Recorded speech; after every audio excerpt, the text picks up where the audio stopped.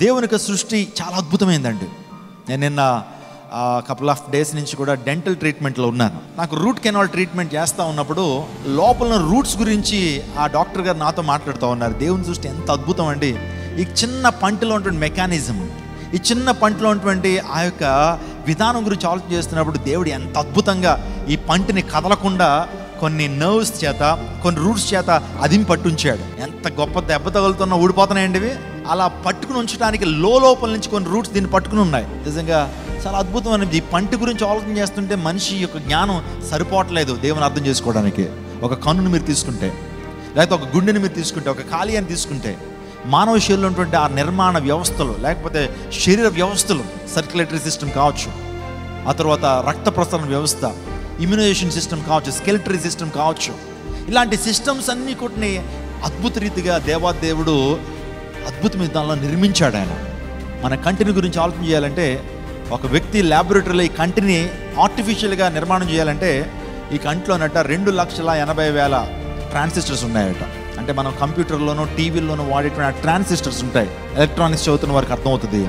అందులో ట్రాన్సిస్టర్స్ మన కళ్ళల్లో రెండు లక్షల యాభై వేల ట్రాన్సిస్టర్లు ఉన్నాయట మన కళ్ళలో ఏ వ్యక్తి కూడా ఏ శాస్త్రవేత్త కూడా హ్యూమన్ ఐన్ని ఒక ల్యాబొరేటరీలో తయారు చేయలేడు. అంత ఎందుకంటే ఒక వెంట్రుకి ఎవరైనా తయారు చేయగలడా? ఒక ల్యాబొరేటరీలో ఒక వెంట్రుకి ఎవరైనా తయారు చేయగలడా? ఎవరు తయారు చేయలేడు. మానవుని యొక్క జీవితంలో దేవుని యొక్క సృష్టి చాలా అద్భుతం. కొన్ని సందర్భాల్లో మనల్ని మనం చూసుకుంటున్నప్పుడు దేవుడు ఎవరో మనకు అర్థం కావాలి. ఆయన గొప్పతనం ఏంటో మనకు అర్థం కావాలి.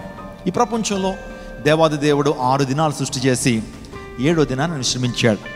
ఆరు దినాల సృష్టి ఆది కాండలో మనం చూస్తూ ఉంటాం. బైబిల్లో రాయబడిన సృష్టి క్రమము అనేక మంది చేత ఆమోదయోగ్యమైనటువంటి సృష్టి క్రమం. చాలా సృష్టి క్రమాలు ఉన్నాయి. ఫర్ ఎగ్జాంపుల్ సైన్స్ దగ్గరికి వెళ్ళాం అనుకోండి. మానవుడు ఎలా వచ్చాడంటే కోతి దేవర వచ్చాడంటాడు. మరి ఎంతమంది నమ్ముతున్నారు అది? ఆ సృష్టి క్రమం ఆమోదయోగ్యమైనటువంటిది కాదు. లేకపోతే ఒక ఈజిప్ట్ వాళ్ళ దగ్గరికి వెళ్ళాం అనుకోండి. నలుగురు దేవదూతలట ఒక దుప్పటి పట్టుకుని ఇలా జాడిచ్చినప్పుడు మనందరం వచ్చామట. వాళ్ళు సృష్టిక్రమం అని చెప్తారు. మన భారతీయులు చెప్తారు ఒక గుడ్లోంచి మొత్తం సృష్టి అంతా వచ్చిందని చెప్తారు. ఒక గుడ్డు ఉందట ఆ గుడ్డు పగిలి ఆకాశము సూర్యచంద్రులు నక్షత్రాదులు మానవులు పక్షులు జంతువులు ఇవన్నీ వచ్చినాయి అంటారు. ఇలా చాలామంది రకరకాల సృష్టి క్రమాలు చెప్తున్నట్లయితే సైన్స్ దగ్గరికి వెళ్ళిపోతే బిగ్ బ్యాంగ్ అంటారు. బిగ్ బ్యాంగ్ అంటే అర్థం ఏంటంటే మహా విస్ఫోటనం ఒక చిన్న కణం బాగా విస్ఫోటనం చెంది ఇవన్నీ వచ్చినాయని సైన్స్ చెప్తా ఉంది.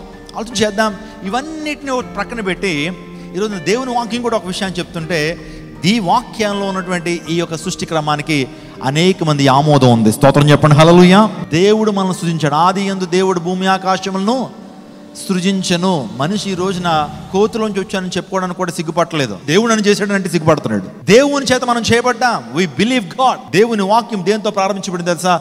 దేవుడు అనేటువంటి అంశంతో ప్రారంభించబడింది. In the beginning God has created heavens and earth దేవుడు భూమి ఆకాశంలో సృజించాడు.